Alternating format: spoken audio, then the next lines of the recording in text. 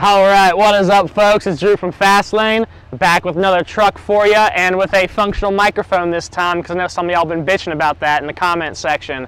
Um, as always, we're gonna delve in, you know, see whose truck this is, what's going on. Nothing super crazy today, but something nice. So, let's check her out.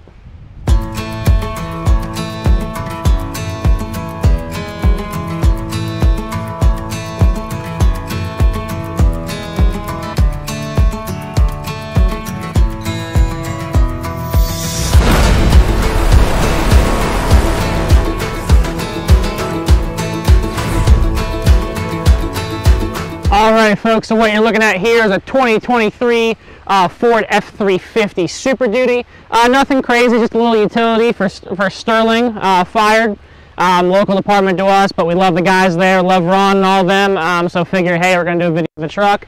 Um, tip to butt, it's how I love to do it. You see that we have this giant plow, Boss DXT, DXT V-blade hydraulic power down. This thing is super nice, very nice plow. Super jealous. I used to push snow, so I, you know, I like it. Um, moving a little bit back, obviously they have you know the LED headlights in the uh, you know the frame structure. In the grill, they have just a red white ions for when they don't have the plow and they can still respond. Uh, here on the front fenders, you have a surface mount TLI 2K ion. Um, so this is red amber. Um, so you can introduce some amber for plow mode. Moving back, you have a Liberty 2 light bar up top, uh, red, amber, white in that bar. Moving back, we actually have two ions here on the bedside, one um, you know, right behind the cab and one next to the taillight, again, red and amber. Um, backflip tonneau cover, we don't do them super, you know, super frequently, but it just works really well for this truck because they don't really need a cap. Down here on the back bumper, we have TLI2Ds. These are uh, red white ions. Slide master bed slide with a tray. So you know you can put stuff and things on it. We all love we all love stuff and things.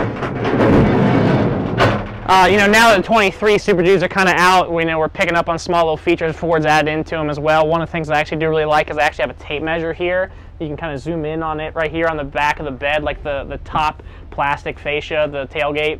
They have this like tape measure. We didn't do this, this factory Ford, but I do think it's kind of nice. So if you catch a real mo monster hog fish, you can kind of just measure it. Um, but that's really it for the exterior.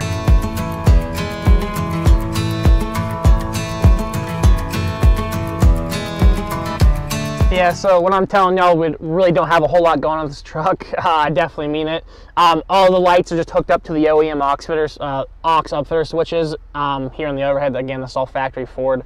Um, you know, the first one cuts your headlights for the plow.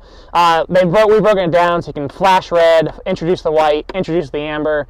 Uh, you can make the uh, the rear lights on the back bumper come on solid scene for when you're back, backing up, and you can kick on the scene function of the light bar obviously they need to have a radio in this thing and they elected to not have a center console so we got a little bit creative.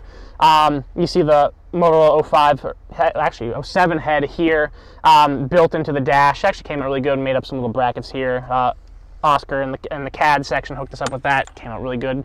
Um, then you know you have your your jack input for your PA mic so you can yell at people and do all the whatever fun stuff you'll be doing. Um, they usually keep this in the glove box but that works out. And then magnet mic here as well. So, you know, nothing crazy, but a nice, you know, kind of elegant solution to not having a lot of work, a lot to work with. You have your standalone speaker down here, and you have your controller um, for the plow. So, not a lot.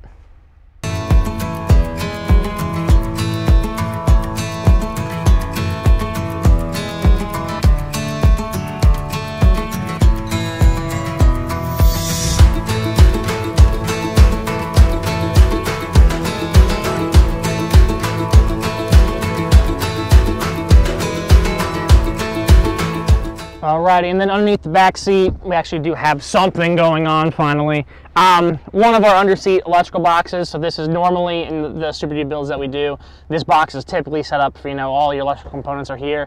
Now, again, not a lot going on in this truck, so we still installed one of these, but it's just, you know, more storage. So you gotta have some deep, deep, hard storage that can, you know, uh, you know, fix gear to it or whatever they're gonna do. Nice catch-all little solution here.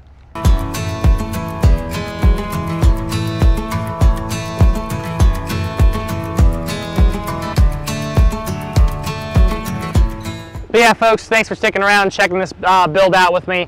Obviously, you know, definitely on the on the simpler end of the spectrum for us. Not a whole lot going on, so it's a pretty short video. But I like the plow. Love the guys who the truck's going for, so it was definitely worthwhile. Um, as always, make sure to like, comment, subscribe for more, more cool Fastlane content, and I will see you folks next time.